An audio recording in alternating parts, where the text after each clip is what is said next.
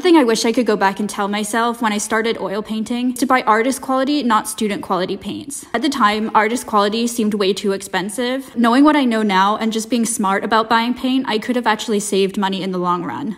As a realist painter, I don't put down huge amounts of paint on the canvas, and I still have some of my student quality paint tubes from about 10 years ago. So, depending on your style, the decisions you make as a student artist can actually last a long time. So spending more upfront means you don't have to go out 10 years later and buy new paints when you're not finished the old ones. Also, higher quality paint tends to be more concentrated and contain less fillers, meaning combined with oil medium, expensive paints actually last a lot longer and go much further. I'm gonna do a couple more videos just to explain the tips I'd love to go back and tell myself about how to save money without sacrificing the quality of your materials.